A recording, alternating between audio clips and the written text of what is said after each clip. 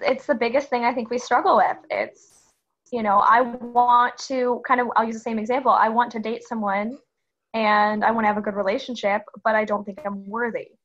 That's an incongruency in the mind and the body. What what made you th- let me ask you this, Chelsea, what made you feel that you were not worthy? What made me feel like I was not worthy? Mm. Is that the question? Yeah. The okay. So oh, you know, I guess I'd have to dig a little deeper with that. But I think that the biggest thing for me was as a kid, I didn't feel worthy. I mean, we go back so much to our childhood. So it was it was not having a good relationship with my dad. It was not having a good relationship with my family. To thinking that why would someone want to be with me kind of attitude. And I think more than worthy, it was the unlovable part. I thought that there was some essential ingredient missing that I didn't have that somebody else had.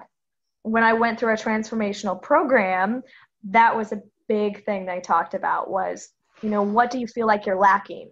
And it just I didn't even know, you know, I was like, what is this? So the reason I didn't feel worthy was I felt I was always lacking something. Mm. Because I didn't realize people wanted to be with me for me. I thought I had to achieve. I always thought I had to perform. It, it sounds like your your childhood path was a lot like mine because uh, one of the things uh, growing up, and I know other kids can be mean at times. Of course, I had very light skin, had freckles, uh, had had the red hair, and uh, before before I hit puberty, I was kind of a roly poly little fellow, and uh, so uh, you know it, it I, I, took a lot of uh, a lot of ribbing and uh, you know freckle faced strawberry and you know all kinds of different different things like that, and then you know I hit puberty, you know slimmed down and uh, of course, it was the 70s, so I had the long, you know, the long red hair and the sideburns and the uh, big mustache and all that stuff, you know. Uh, but and then um, I had a I had a real hard time asking girls out because I felt that I wasn't worthy. I wasn't an athlete, um, and I, I was at a school where athletics was, you know, if you weren't pretty much if you weren't a jock, so to speak, you weren't anything. Um, mm. I found my um, comfort zone, so to speak, in music. I played trumpet, um, pretty good at it. Um, but again, coming back to relationships and what you were saying is, uh, about the self, I didn't feel worthy to to go out with a with a girl because I thought they would be interested in somebody. Why would why would anybody be interested in you, Steve Bryant? Uh, so it was it was a it was a it was a process, and uh, I was very blessed enough to find uh, find a woman. Actually, didn't go to the school. I met her because she was taking care of my mom in the hospital. She was a nurse, and uh, and uh, you know 40, uh, 40 plus years later, we're still together. So yeah, Amazing. Yeah, so I did. I did find the right one. It's interesting. It's interesting that you said that because I thought, oh my goodness, you know, it's just like me going through. And I, I am glad you checked. Excuse me. I'm glad you touched on your childhood because um, a lot of our misconceptions, a lot of the, the way that we think, comes from the experience, uh, uh, excuse me, the experiences that we faced in our childhood. 100%, 100%. And that's the thing too, is that we, we don't realize it, right? That's, mm. okay, I had a really bad week last week, or, uh, you know, this has been a stressful year for me. And it's just things are coming up from your past, or something that you blow up about was really something that bothered you or triggered you years ago it's just mm. it's just triggering you in a different way which is triggering another emotion so people go their entire life not sure if they're with the one or you know they they aren't worthy of being in a relationship and they could be in a relationship with someone so i think that the big thing to realize is that, that's why i go back to that same question i said earlier is like do you love yourself and mm. if you're if you don't get a resounding like yeah i do actually like then then that's something that i think somebody needs to really look at because that's something that will change your life when you realize what is stopping you or why you don't feel the way you should. Mm, absolutely. One of the things you you put, uh, you know, we were talking about the the interview process and uh, some of the answers to questions that were put to you before the show, and uh, you had put, and I'm interested what you what you're going to say with this. Are you comfortable? So Chelsea Lee Rock, are you comfortable? In what sense? I don't know. You're the one who put it um, down. are, are, are you comfortable? or, or, would you would you ask? Oh, that was one of my questions. You, yeah. So I oh, said. So, uh, so you could ask me, Steve Bryan, are you comfortable? I don't remember putting that. Okay. Um, well, yeah, Stephen, are you comfortable? yeah, well, I, actually, right now, I'm I'm really comfortable. I'm having a great time talking with you. I am too. Thank you. I no, I think that's so funny. I definitely am comfortable in my life right now. I would say that there are definitely things that we all struggle with, but I am more happy and, and at peace with my life than I think I've ever been. And that is really the biggest thing that I think that's priceless. And knowing that you have so many beautiful things on the horizon and all these goals that I'm I'm working on and accomplishing I'm starting to see and being in love with your with your person. I mean all of those things like are just incredible. So um, to answer your question, yes, I am comfortable. And I think that we can always be striving though. I, I don't know why I put that because I'm not um, I think comfortability can breed complacency so mm-hmm. I like to stay away from that a little bit. And maybe I meant to put, are you content? Content's a better word. I would agree with you because as I looked at that, I'm thinking, I'm, I'm asking myself that question Am I comfortable?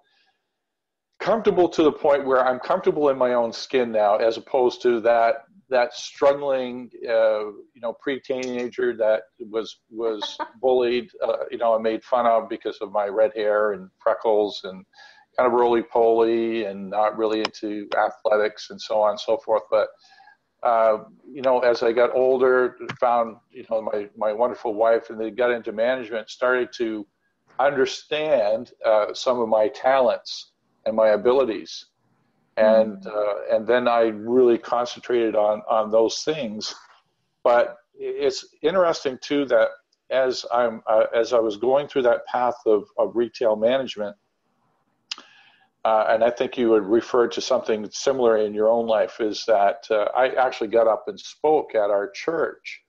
Uh, we were between pastors and. Uh, so after I finished, I thought, "Oh my goodness, what a terrible job that I had done. And this godly older lady, I think she's in her 90s now, came up to me and said, Stephen, I think you missed your calling. And I said, Beth, oh. I said, what, what, do you mean? She says, I think, yeah, says, I think God wants you to be a pastor. And you know what? I could not get that out of my head and uh, and then started listening to a lot of broadcasts and so on and it's just one of those things that i just i've got to do this. Now at first my wife thought i was nuts uh, but uh, you know as it went on she came to a point too said yeah this is what we need to do. Uh, we moved from the state of maine to uh, to new brunswick. I studied to be a pastor uh, there in rural, uh, rural New Brunswick and ended up being a pastor for almost 20 years.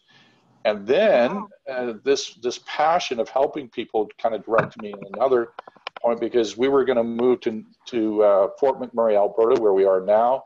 I was going to get my master's in counseling again because I wanted to help people, but you know the the path led to working with uh, an agency called the Center of Hope, where uh, it's a daytime drop-in center for the homeless, and we started out being a, a coordinator, and uh, ended up being executive director of the place for about three years, and then took another job because I wanted this time to do this coaching, uh, and it's it, and this has really just taken off. And uh, but uh, you know, it's this whole thing with um, this passion, and and somebody said this, and uh, maybe you can relate to this. Um, your gift will make room for you. Your gift will make room for you. In other words, if you're gifted in passion, there's there are going to be opportunities for that to happen.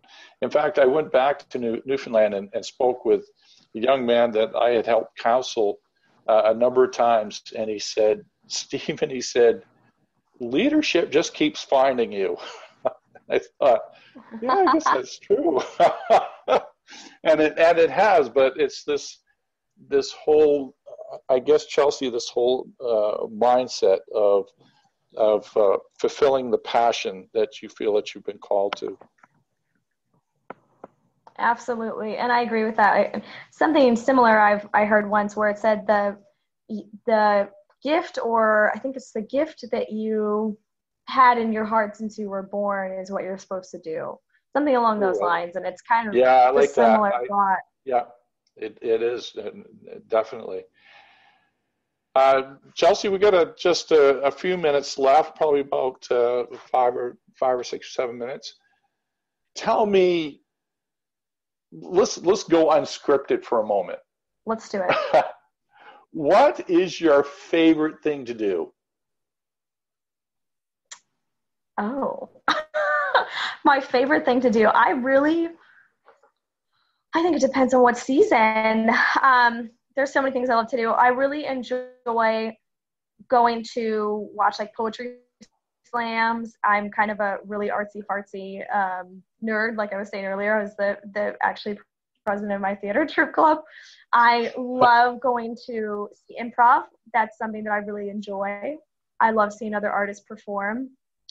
I also really enjoy just um, just just really enjoying the the um, nature outside. I go hiking with my dog. I like to travel. So I would say those are big things I like to do. Okay, travel. So uh, we are talking with somebody the other day. If you had, uh, for instance, no limits on on spending or or travel or anything like that, top five places that you would love to go to. Ooh, okay. I know this question. I've been thinking about it a lot actually.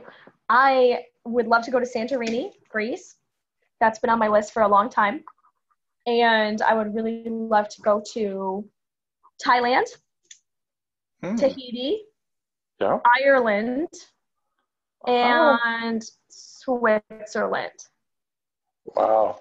Interesting. Ireland is on my top five as well uh, again, uh, family family heritage, and you trace back to uh, to where my my family is from. So uh, Ireland would definitely be. And uh, my daughter and her boyfriend actually went to Thailand to look into uh, ESL English as a second language. So they toured there in that that area and absolutely loved it. So yeah, I would I would love to go there too. Um, favorite music?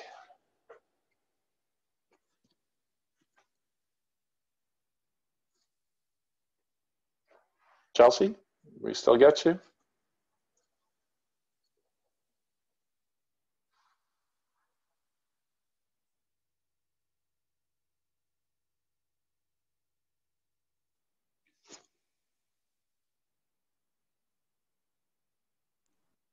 Chelsea? Chelsea. Looks like we lost you. That's all right. We're at a point where we can splice that together, aren't we, uh, Karina? Yes, we can. I'm going to stop. I'm just trying to resume. Okay, I've resumed recording, so you can just start start where you left yep. off, Stephen, and we'll just edit it. Okay. Chelsea, Favorite movie? Yes.